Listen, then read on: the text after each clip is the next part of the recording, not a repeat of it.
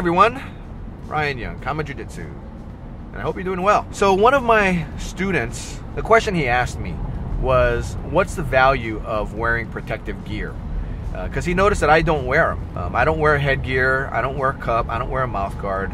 Um, why, why would somebody wear it or versus, uh, versus not wear it? Really, the thing is, when I started Jiu Jitsu, I wore a headgear, but that was because I wrestled in, in middle school um, middle school and early high school, and we always wear headgear. So I just thought, you know, if this is grappling, I'm going to wear a headgear. I never had any any kind of cauliflower ear developed at, up, up to that point, but I just did it because I thought I should do it.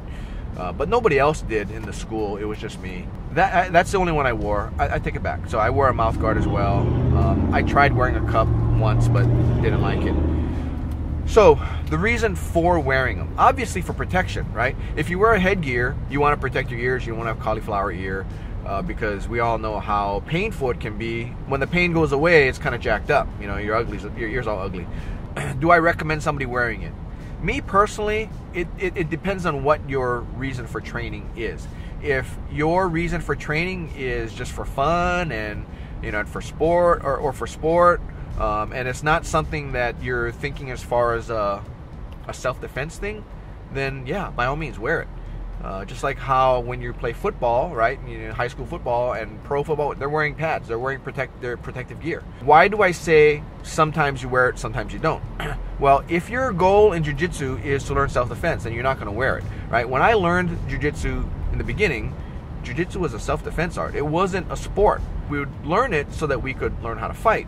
Well, the thing is, if I'm wearing a headgear, then now I've got protection on my ears. And I noticed when I when I was wearing it, actually, I would let things happen to me that I wouldn't normally let happen to me if I were not wearing it. For instance, if somebody went north south on me and they decided to want to squeeze my head in between their knees, I have a headgear on. You're not going to mess my ears up, right?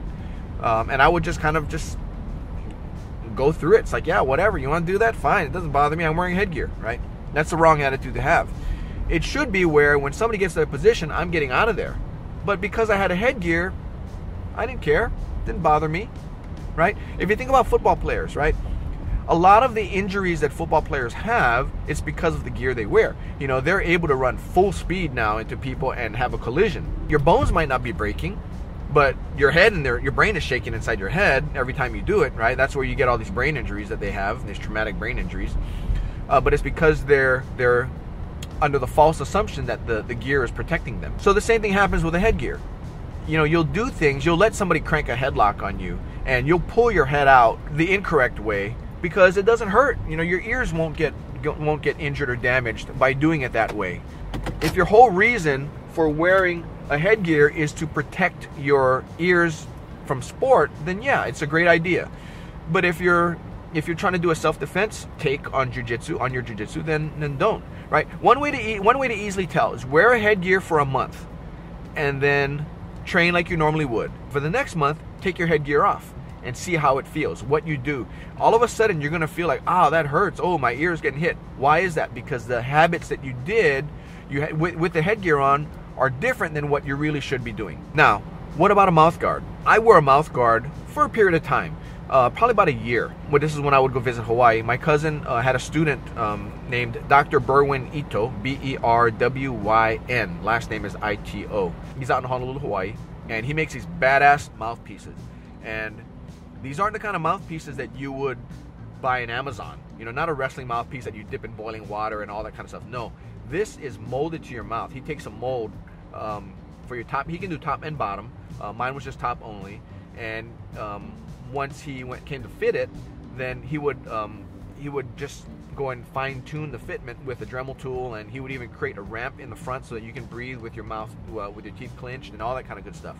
Um, it was top notch. I mean, it's expensive stuff. But if your teeth, if, if that's how you want to protect your teeth, then then obviously you're you're it's worth it. I wore it for a little while and then I stopped, and the reason was because one day I just kind of did an impromptu training, did not have my mouthpiece with me, and trained. And just like with the headgear, it didn't feel right. Uh, I didn't feel uh, because I was just used to having that in my mouth. And at first, I wasn't used to it. It was kind of unpleasant, but I got used to it. And then, you know, I would probably do some things that I wouldn't do um, if I didn't if I didn't wear it. So I got myself used to not wearing it again. Um, a cup. Who walks around wearing a cup? who walks around wearing a mouth guard. Nobody walks around wearing a headgear, right? Um, so a cup is something that, uh, you know, I guess you can get hit, hit inadvertently, but at the same time, I don't like it because I don't like when my training partners wear it. Only because if they decide to armbar me from the mount, then I have a cup just like jabbing right into my arm, and that kind of hurts. So what I do is I just press down even harder. Uh, well, you know, if they're gonna if they're gonna put that kind of, they're gonna tweak my arm, you know, putting a cup in my arm, then I'll press down on it, right?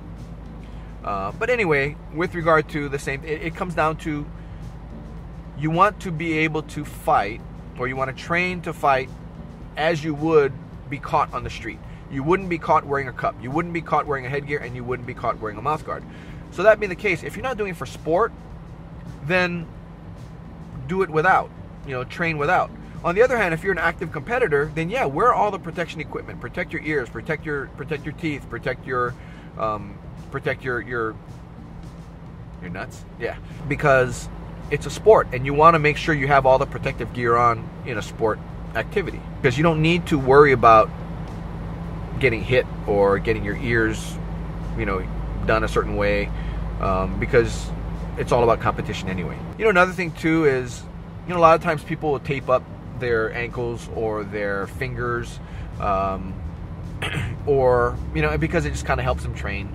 I know it sucks, but if your fingers get all jacked up, try to not tape them because if you don't tape your fingers and you train, it's going to hurt if you grip a lot. So what does that mean? You'll have to learn how to train without gripping so much. And then that way you can save your hands. It's like I say with the protective gear in football. By you wearing the gear, it just makes you have the ability to put your body under more punishment. On the other hand, if you took the helmet off of every single football player, then the game would change significantly because people wouldn't be running head first um, into somebody. Um, you know, they'd be a lot more careful in the way they do things.